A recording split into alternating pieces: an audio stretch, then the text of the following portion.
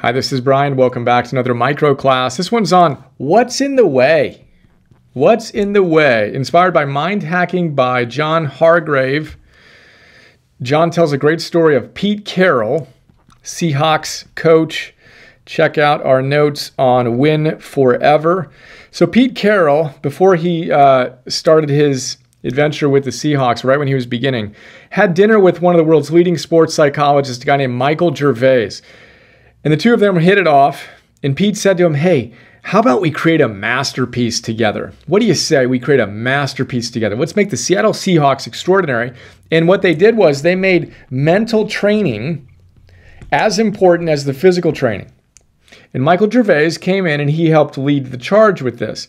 And what he did was he had his athletes imagine themselves performing at their absolute best. I mean, just just on fire, peak performance. What does that look like for you? He would ask. What does it feel like? Vividly capture the elements of you showing up at your highest potential, right? Peak performance. But he didn't stop there. Then he would say, okay, what gets in the way between you experiencing this more consistently? What's in the way of you shining as brightly as you can? Let's identify those things and let's create a strategy to remove them. Because if we can get rid of these things, then you can shine here more consistently. That's what we want to do.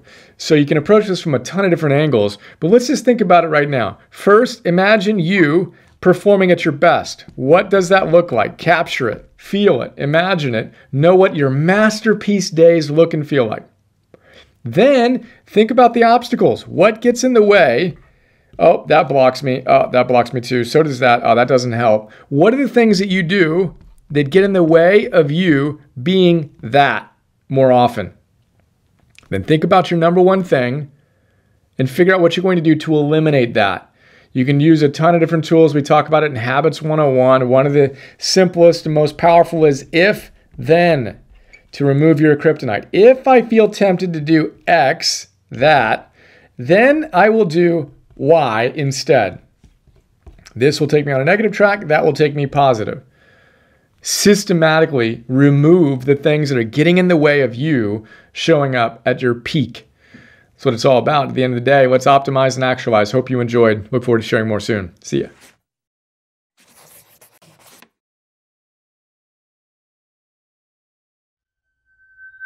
Isn't it a bit odd that we went from math to science to history, but somehow missed the class on how to live? For some wacky reason, Optimal Living 101 never made the schedule. Of course, it's too late to go back and change that, and you're too busy to read full time to catch up. Yet, if you're like us, you're all about optimizing your life and actualizing your potential. So imagine this. Imagine having someone read the best books on optimal living and pulling out the big ideas that can truly change your life. You know, those sections you asterisk and underline and mark all up. Then imagine that guy, me, connecting those ideas to other great books and helping you apply them to your life today. Well, that's what I do with something we call Philosopher's Notes, where I break down each great book into a simple six page PDF, 20 minute MP3, and 10 minute Philosopher's Notes TV episode. Then imagine me taking the absolute best big ideas from those great books and sharing them with you in fun, inspiring, super practical Optimal Living 101 classes. On stuff like Purpose 101, Confidence 101, Business 101, Meditation 101, that sort of thing. You've got a personal trainer? I'm kind of like your personal philosopher. Ancient wisdom plus modern science plus common sense plus virtue plus mastery plus fun. That's what our optimized membership program is all about. We'd love to have you join us. Check us out at brianjohnson.me slash join.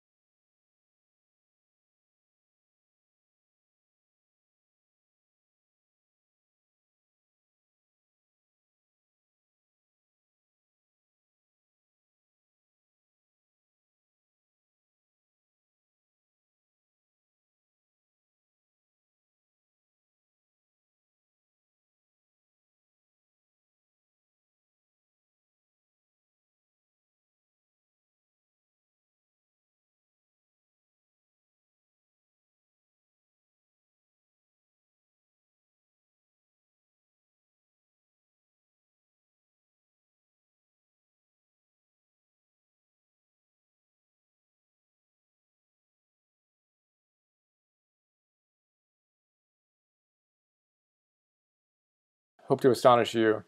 There you go.